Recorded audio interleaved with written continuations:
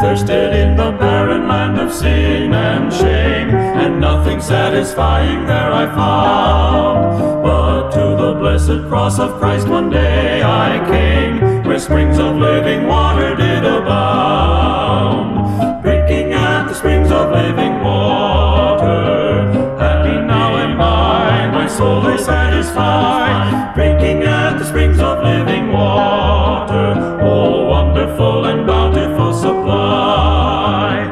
sweet the living water from the hills of God. It makes me glad and happy all the way. Now glory, grace, and blessing mark the path I've trod. I'm shouting hallelujah every day. Drinking at the springs of living water. Springs of water, happy now am I. My soul is satisfied. Drinking at the springs of living supply. Oh, sinner, won't you come today to Calvary?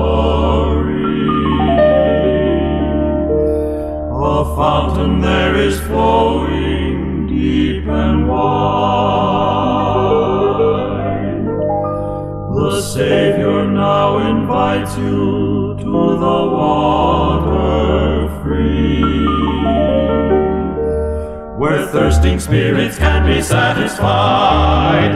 I am drinking at the springs of living water, and now am I, my soul is satisfied.